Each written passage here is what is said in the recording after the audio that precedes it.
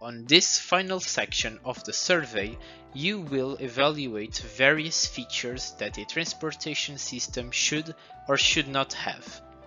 Please evaluate them taking into consideration their independent roles and, most importantly, how much more relevant one feature is when compared with other features of the same group.